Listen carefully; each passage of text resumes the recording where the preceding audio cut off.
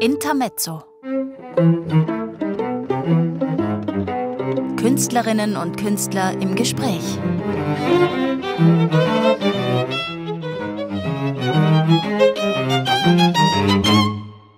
Im Intermezzo begrüße ich heute Christoph Dienz, den Fagottisten, Zitterspieler, Komponisten und Festivalveranstalter der Klangspuren Schwarz. Bekannt ähm, ist Christoph Dienz unter anderem als Gründer des Ensembles Die Knödel, die ab den frühen 90er Jahren als Pioniere der neuen Volksmusik gegolten haben und seit einigen Jahren unter dem Namen Knödel wieder aktiv sind. Christoph Dienz hat aber etwa auch die Zither aus dem Volksmusikkontext herausgeholt, ähm, in ganz neue Klangsphären und dabei auch mit internationalen Größen zusammengearbeitet und ist auch als Theatermusiker aktiv, zuletzt etwa für die Festspiele Reichenau und jetzt zum wiederholten Mal schon für das Sirene Operntheater. Und die neueste Sirene-Produktion, die am 1. November ihre Uraufführung erlebt, ist auch der aktuelle Anlass für unser Gespräch. Herzlich willkommen, Christoph Dienz.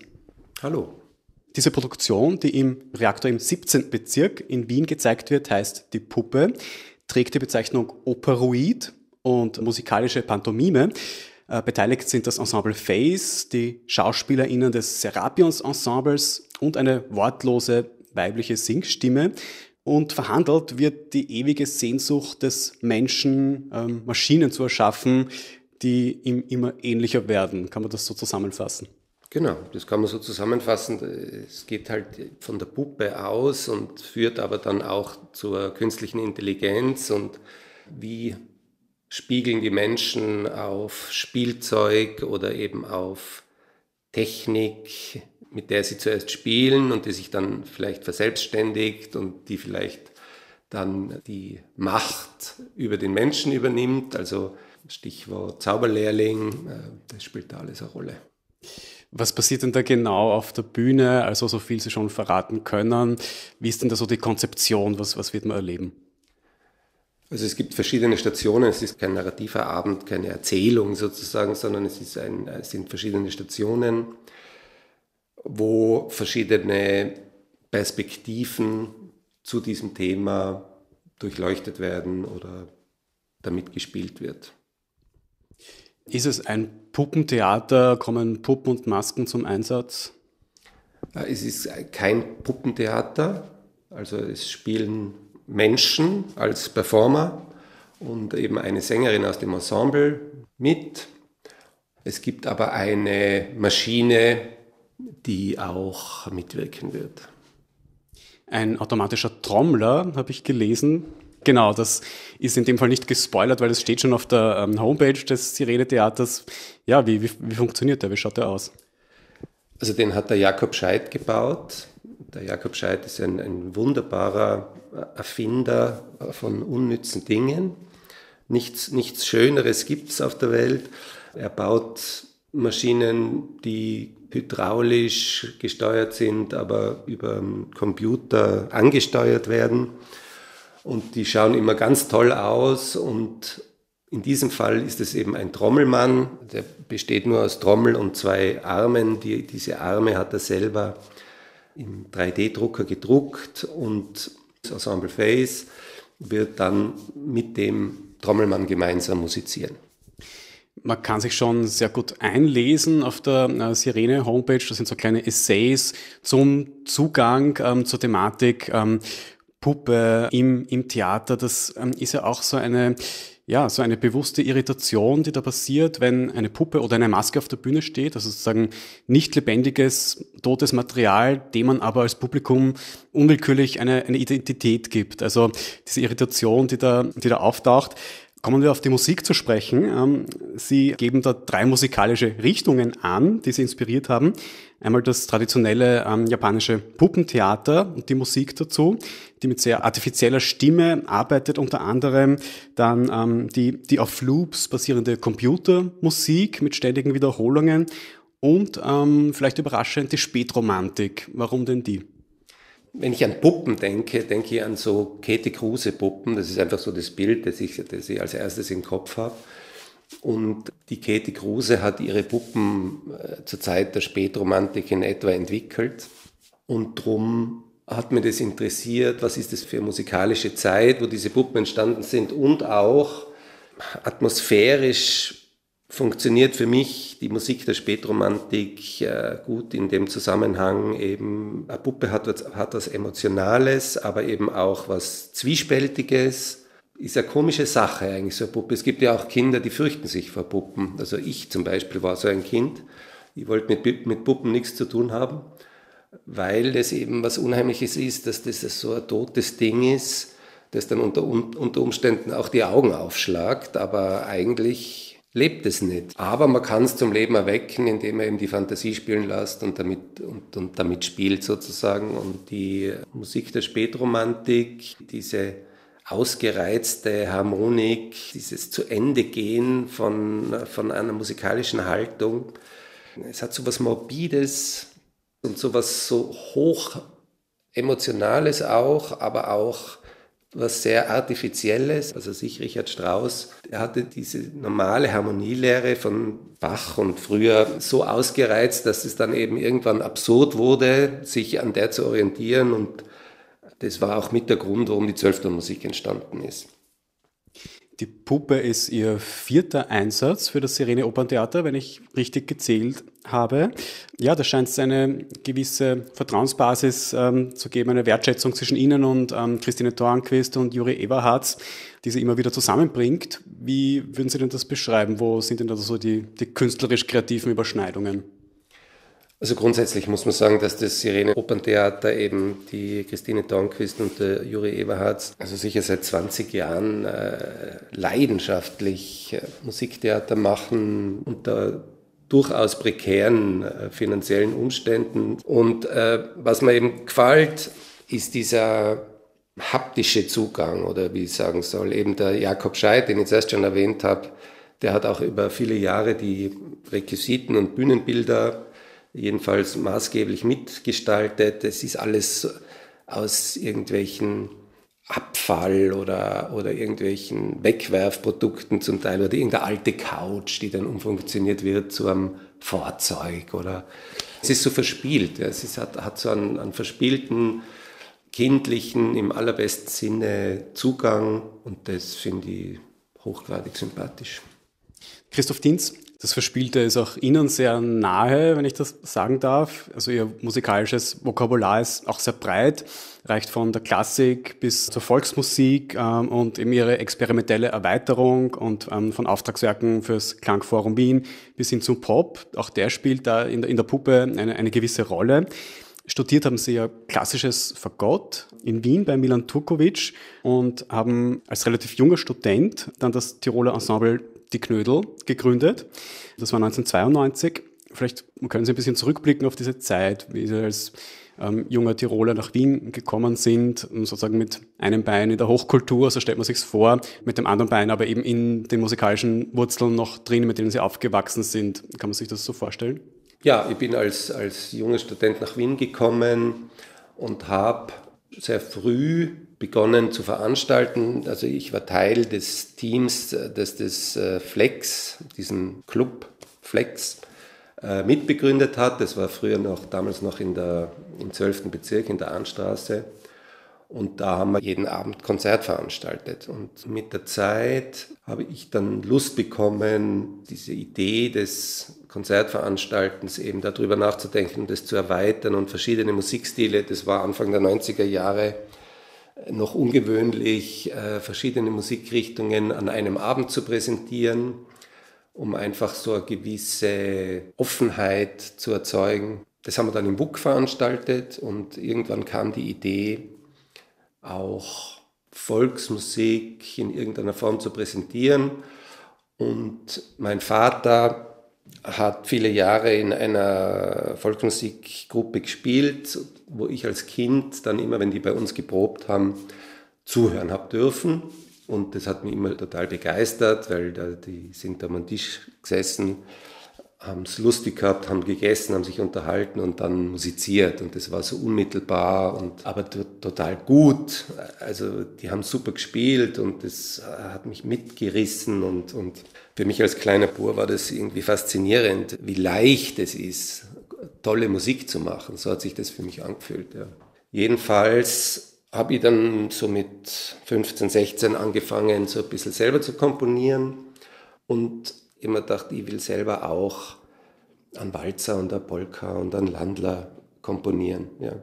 Und habe das gemacht und habe das mit meinen Mitschülerinnen, ich bin damals dann schon ins Musikgymnasium in Innsbruck gegangen, aufgenommen und habe das dann meinem Vater zu Weihnachten geschenkt, ebenso als Reflexion auf seine Musik sozusagen. Und dann habe ich mich daran erinnert, wie wir dann im WUK eben diese Konzerte veranstaltet haben und habe gedacht, das könnte man eigentlich einmal öffentlich aufführen. Habe meine Mitschülerinnen angerufen, wir haben das aufgeführt und es ist wahnsinnig gut angekommen.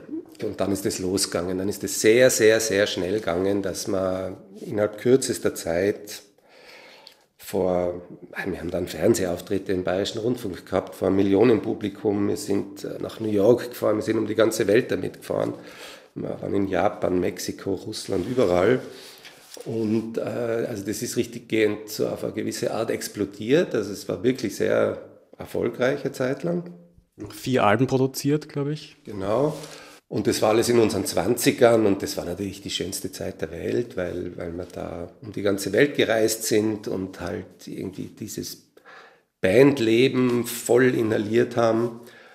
Und aber auch gleichzeitig, das war auch anspruchsvolle Musik, die wir da gemacht haben. Also es war kein Geblödle, ja, sondern es war gedacht eher in der Tradition von weiß ich nicht, Bela Bartok oder Schubert, Mozart, Beethoven, die haben ja auch alle sich mit der äh, man kann praktisch äh, fast alle Komponisten aufzählen, alle haben sich irgendwann einmal mit der Musik äh, ihrer Region auseinandergesetzt. Und das war sozusagen unser Ansatz, dass wir uns mit der Musik unserer Region und, und, und dem Instrumentarium unserer Region auseinandersetzen und da schauen, was ist da für uns möglich, wie kann man das neu denken, wie kann man das erweitern. Ich habe nachgeschaut, die Knödel sind ein Jahr vor der Musikbahn der Franui gegründet worden in Osttirol.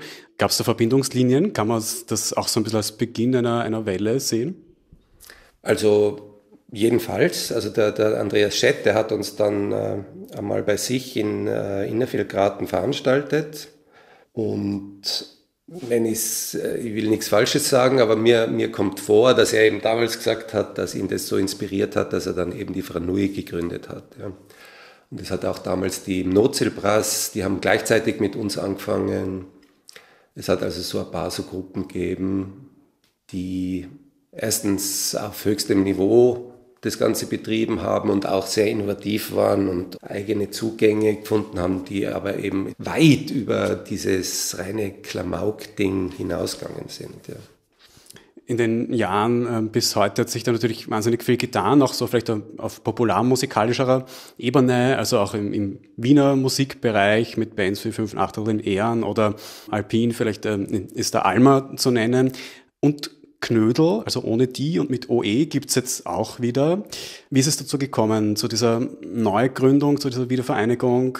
Also wir haben dann irgendwann, ich glaube das war 2000, gesagt, wir lassen es jetzt, weil wir an einem Punkt waren, wo wir, ich glaube, wir haben über 350 Konzerte gespielt und die ersten Kinder sind gekommen.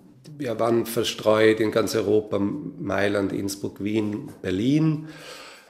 Irgendwie haben wir dann gefunden, bevor wir das jetzt tot reiten, lassen wir es lieber. Ja. Und das haben wir gemacht. Dann haben wir 17 Jahre Pause gemacht. Äh, jeder hat seine Karriere gemacht, äh, tolle Karrieren. Alle haben ihre Kinder bekommen und äh, mehr oder weniger großgezogen. Und dann habe ich erstens für mich jetzt privat wieder mehr Lust kriegt, so kleine Formen zu komponieren. Es hat so ein paar kleinere Aufträge gegeben, wo ich äh, das gespürt habe, wie, man, wie, wie mir das Spaß macht. Und, äh, und dann das Entscheidende war, dass eine Filmproduktionsfirma auf mich zugekommen ist, äh, und zwar für den Film Das Wunder von Wörgl, der ja dann auch im Fernsehen gelaufen ist, wo es um, dies, um dieses Schwundgeld in Wörgl der 1930er Jahre gegangen ist und äh, der mich eben gefragt hat, ob wir mit die Knödel da die Musik dazu machen wollen. Und dann habe ich gesagt, naja, die Knödel gibt es eigentlich schon ewig nimmer. Und habe aber dann irgendwie gedacht, ah, das könnten wir jetzt eigentlich probieren. Wir können uns für diese Produktion treffen. Äh, wir nehmen das auf und fertig. Das war eigentlich mein Zugang. Und dann haben wir uns getroffen und äh, das war dann auch relativ unemotional, eigentlich sehr professionell. Wir haben da die ganze Filmmusik in einem Tag aufnehmen müssen. Es hat gleich super funktioniert musikalisch, also wie wenn wir vor, vor einem Monat das letzte Mal zusammengespielt hätten und nicht vor 17 Jahren. Ja. Dann habe ich mir überlegt, naja, vielleicht sollten doch wieder auch mehr spielen, wenn das so leicht geht und so viel Spaß macht und, und jeder Lust hat. Dann habe ich mal die Band jeden Einzelnen befragt, ob, ob sie sich das vorstellen können. Und dann habe ich auch so ein bisschen Leute aus der Szene gefragt, äh, also sich den Christoph Huber von Borgen Pess und unter anderem auch den Albert Hosp, wie sie das finden würden, wenn wir wieder spielen. Und dann war das äh, Echo also durch, durch und durch positiv und der Albert hat, hat mir dann sogar am nächsten Tag angerufen und hat gemeint, wir könnten bei ihm die Premiere spielen bei Glatt und Verkehrt. Naja, und dann waren das also noch dazu äh, mit Live-Übertragung auf Ö1 und äh, also das waren dann, war dann die Option einfach super. Und dann habe ich gesagt, dann machen wir es aber so, dass, man komplett, dass ich ein komplett neues Programm schreibe und, und die alten Hits werden wir auch spielen, aber eigentlich wollen wir ganz neue Musik machen. Wir haben auch, äh, es waren alle mit dabei, nur eine Geigerin nicht. Die Julia Fiegel wollte nicht mehr mitmachen. Und dann habe ich diese eine Geige äh, für einen Schlagwerker, für einen Charlie Fischer ersetzt. Bei mir ist die Zither dazugekommen. Jetzt haben wir also so ein bisschen ein anderes Klangbild gehabt und habe hab jetzt die alten Stücke neu arrangiert und ein komplett neues Album geschrieben sozusagen. Ja, und seitdem spielen wir wieder. Das letzte Album haben Sie im Vorjahr herausgebracht. Ähm, das trägt den Titel Wunderrad. Horchen wir vielleicht kurz einen Titeltrack rein.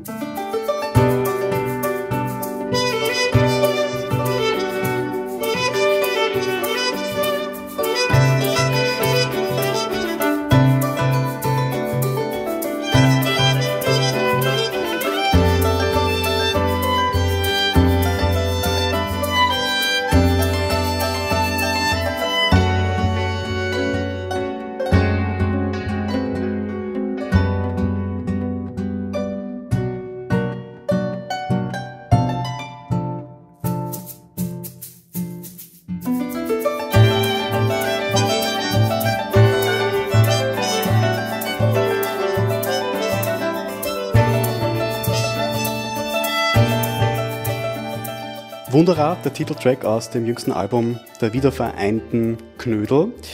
Christoph Dienz, für Sie als Musiker ist auch die ähm, Zither ähm, sehr stark in den Mittelpunkt getreten.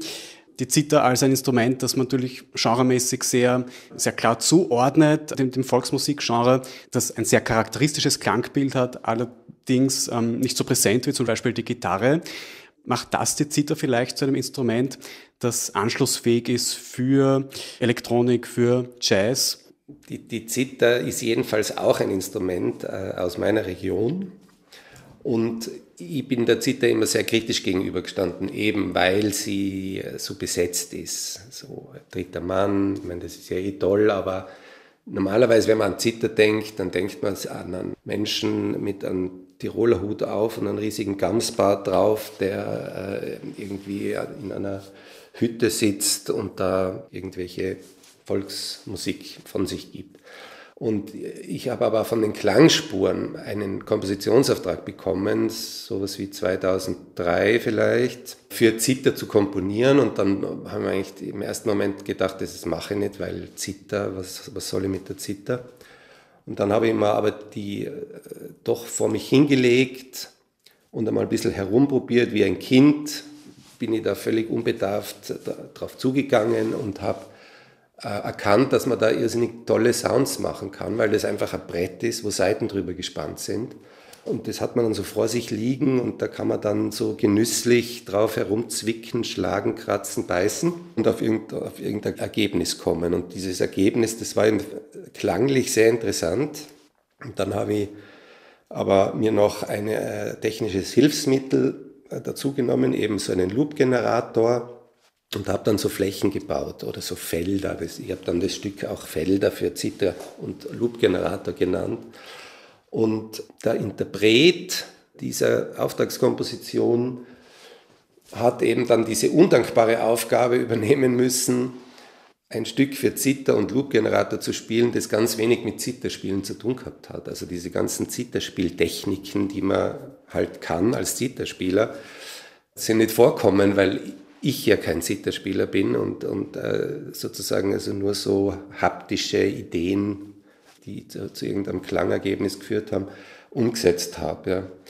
Jedenfalls haben wir die, die Uraufführung abbrechen müssen.